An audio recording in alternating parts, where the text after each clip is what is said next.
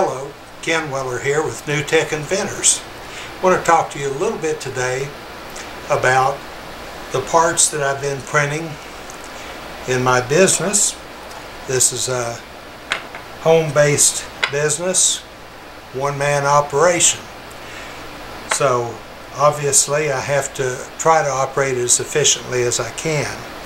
These are some of the various parts that I've been 3D printing for different products that I'm manufacturing and um, all of these particular parts that you see here have been printed with uh, these two printers. So I do have a pretty good uh, number of parts that I can print with these smaller printers. And I'll explain a little bit today why I'm using the smaller printers instead of some of the larger ones. I have um, several other printers to choose from. Um, ANET uh, uh, printers, uh, Ender 3, uh, have some from Geeetech, Tronxy, just uh, a lot of different types and sizes uh, I think my largest is 330 by 330 millimeters, where this one is only 180 by 180, and this one is 110 uh, diameter. But even at that, most of these parts, a lot of these parts will print on this little uh, monoprice Delta printer. It won't print this part and it won't print this part. Um, but most everything else that you see here uh, it won't print this one. But most of the others it will, it is able to print them.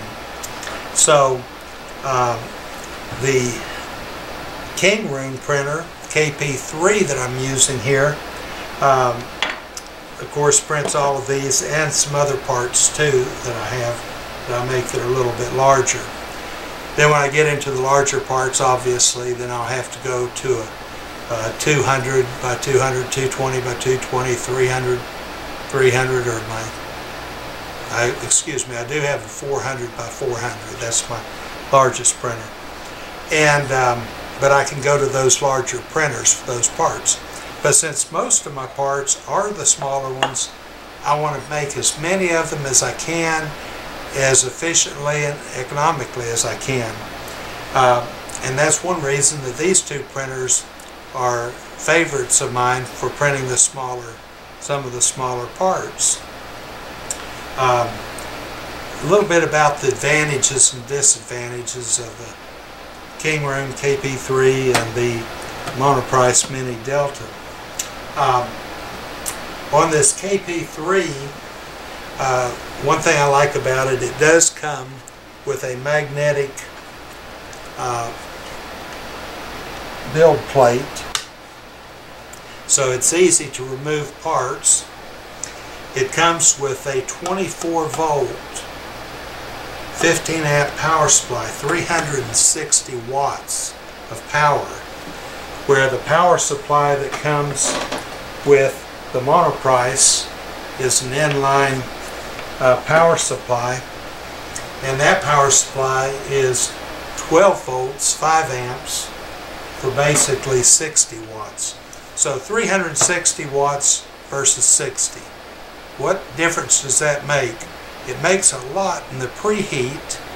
Uh, this printer can preheat in a very short period of time. It takes much longer to preheat the monoprice, because of the limits of the power supply, it has to alternate back and forth, try building the temperatures for the nozzle and the bed on it. So once it's preheated though, that's not an issue. I'll just let you know that it does take longer when you're first starting up. But after that, the power supply seems to be able to keep the temperatures uh, through the print process uh, adequately. Uh, another thing about the printers with uh, uh, Kingroon, it comes with these roller um, basis for your filament, which is really nice because it's adjustable. And if you have a larger roll of filament or wider roll, it will adjust to that. On the Monoprice, it has the filament holder on the back here. And it will also hold uh, wider reels as well as the short one. Um, I do like that because it's behind here, it's attached, it feeds well, and it creates a smaller footprint with the Monoprice. The footprint with the Kingroon, because of the detached power supply and the stand, it takes up a lot more space. And I'll be showing you that in a minute because uh, my latest project has been figuring out a way to get a lot of these printers in a small area since I'm very limited here at my home and uh, so I've been working on a little project to try to condense it more. If you look at uh, one of my videos, I have a couple of them showing where I have these Kingroons on a table over about an eight foot area where I can put seven printers uh, side by side on top of a table in an eight foot area. Uh, that's that's very good to be able to get that many printers in a small area like that. Uh, however, I still need something better than that. And I've come up with something that, uh, like I said, I'll show you in just a minute. A few more things about these printers that I found. Uh, other than this one having less workspace than this and uh, taking a little bit longer to preheat. They both seem to print a fairly equal quality of, of parts once they're adjusted and set up. This one comes pretty much like you see it. There's no assembly, it's pre-assembled. Take it out of the box, plug it up, uh, put your filament holder on and you're pretty much ready to start printing. With the Kingroon, you do have two, two main pieces and have to put this boom on, attach it here. I have a video showing the assembly uh, and in that video it shows me unpacking the printer, assembling it, and having it ready to start printing in less than 10 minutes. So it's a very fast assembly on this one too. And that's an advantage. I have some printers that I've spent hours uh, assembling and uh, that gets a little frustrating sometimes. Uh, on the other, let me look at my notes here and see. Uh, this one is self-leveling. So once you start your print job, it self-levels and you don't have to worry about it. With Kingroon, you do have to level it. However, it has um, leveling software or uh, assisted leveling software that allows you to, uh, just by the touch of a button, position the nozzle at four different corners and in the center so you can sit there and just push the button and have your paper for gauging it, but you still have to manually adjust the um, the screws on the print bed. Um, oh, one other thing, this the Kingroon does have a filament uh, break sensor, where the Monoprice does not. Another difference between the two printers is that the Kingroon does have a touch screen which is pretty nice. It helps you navigate a little faster. This one has a manual uh, three button um, screen where you push the buttons to advance the menu and so forth and do your selections. And uh, again, it does not have a filament break sensor. So uh, you can add one to it, but it doesn't come with it on the price. So that's the big difference between those. Um, now let me show you what I promised in the beginning uh, little project I've been working on so you can see what, what I came up with.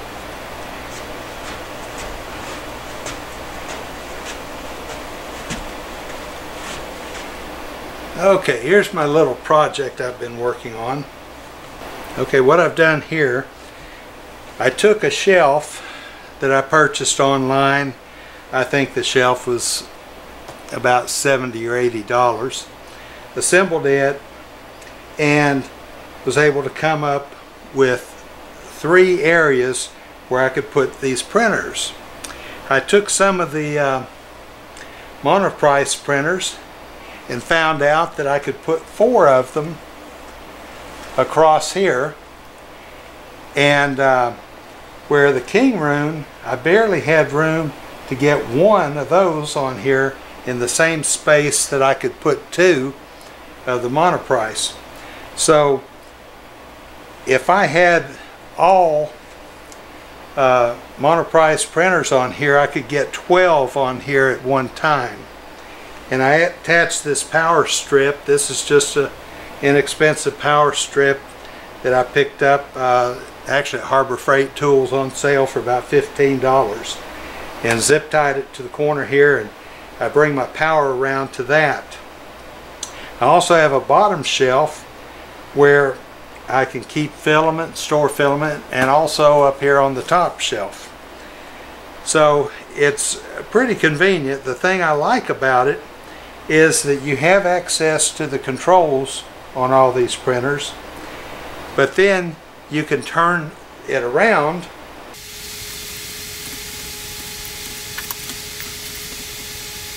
And you can see when you go to the back side you have access to the SD slots. You also have access to the uh, filament spools where you can load filament and change that. So by having a portable, having this on the portable casters, I have carpet in here which makes it harder to move, but in an environment where you're on a solid floor, it will work a lot better. My plan is to have several of these and to be able to slide them against a wall and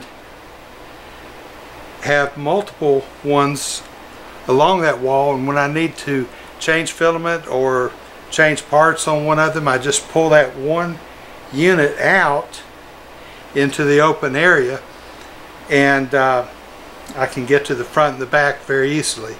That's one of the things I want to show you that I've been working on and we'll be firing it up and I'll do a video showing you the printers operating and we'll see how it all works out.